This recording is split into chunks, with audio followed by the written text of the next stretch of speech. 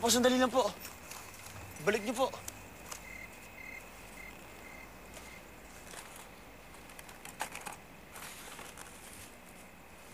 Wala po dito, Manong. Sige po.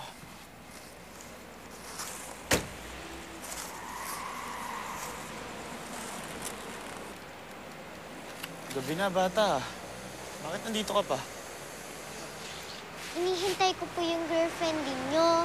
Asan po siya? Kasama niyo po ba siya? Hindi. Kailan ko po siya makikita?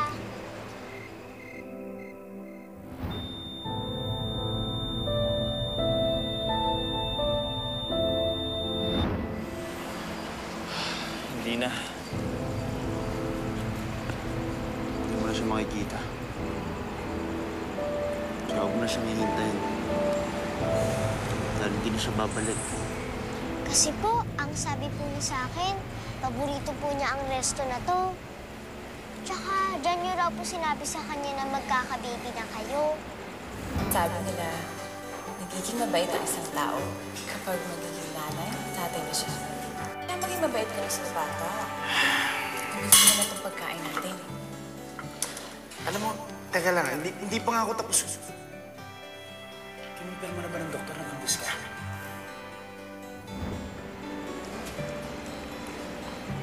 Kailan yan sinabi sa'yo?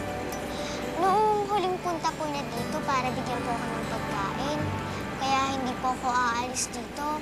Hihintayin ko po ang girlfriend ninyo. Anong pangalan mo, bata? Angela po. Angela. Halos ka pangalan mo pala siya. Angeli ang pangalan niya. Talaga po? Kaya po pala ang bait-bait niya kasi po, galing po sa Anghel ang pangalan niya.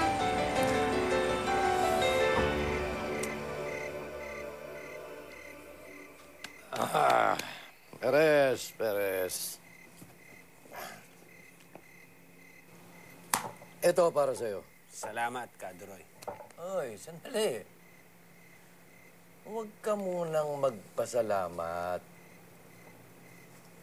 Para sa'yo ang perang ito. Pero kailangang ipangako mo sa akin at tiyakin mo sa akin na hindi na kami pakapakialaman kahit kailan nung kutong lupang inspektor mo. Sinisiguro ko sa'yo, hindi na siya makikialam simula ngayon. Huwag lang mahuhuli si Mascardo.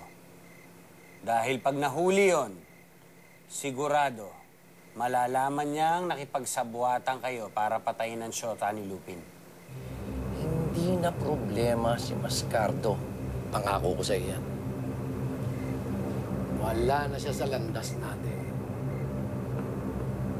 Anong ibig mong sabihin wala na siya?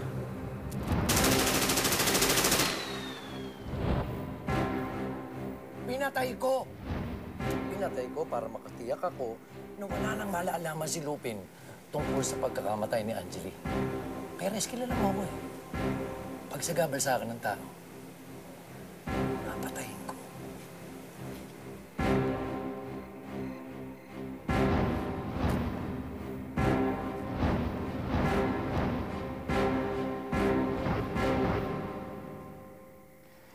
Hindi pa umuwi si Lupin.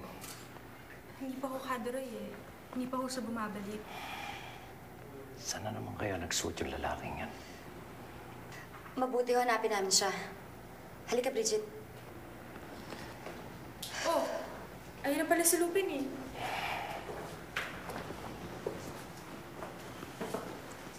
Saan ka nang galing? At sino itong batang kasama mo? Siya po si Angela. Kaibigan siya ni Angeli. At simula po ngayon, dito na siya titira kasama natin. Hello po. Kamusta na po kayo?